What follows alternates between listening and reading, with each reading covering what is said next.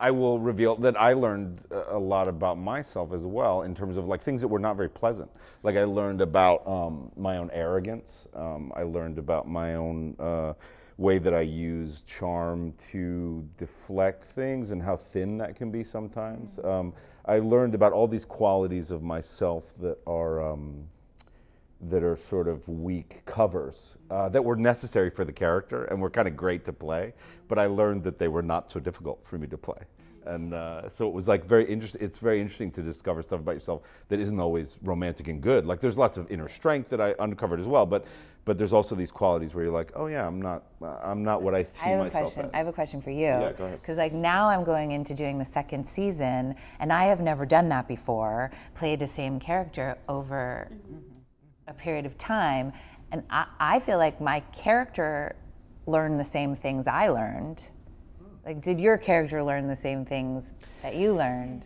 Um, a little bit, yeah. I mean, it's it's really interesting. It was the first time I'd ever done a second season of a show as well. So, the going into the second season, I was really nervous because the arc of him in the first season is so complete and perfect. Yeah. Like he starts off such a jerk, and then he learns to live, and he he saves the child that he could have saved. You know, he couldn't have saved with his own child, and he breathes again, and like he's alive, right? right? So it's like, and then you're like, go again. Well, no, no, so yeah. So you're like, what do you do, right? Yeah. Because the and the construct of TV is like Gilligan's Island. Like you always show up on the island in the red shirt. Like so you're always the same guy. Like you're you know or like friends. Like you're always like friends, right?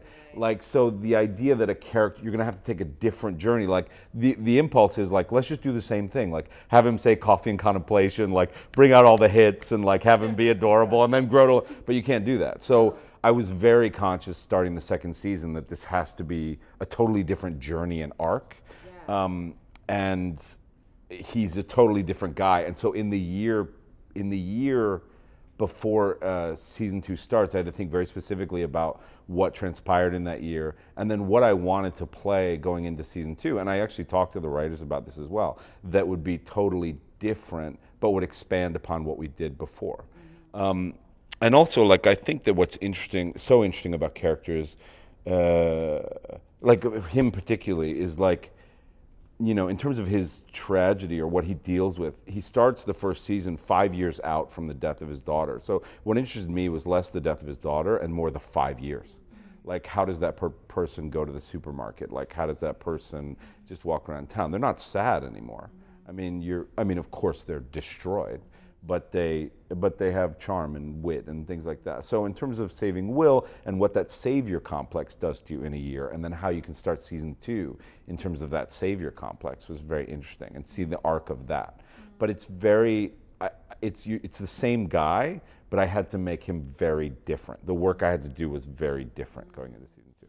I don't know if personally I, I sort of like my work more in season one, but I I do know that I was proud of myself for at least trying to do something very, very different in season two and not sticking to what I knew from season one. Mm -hmm.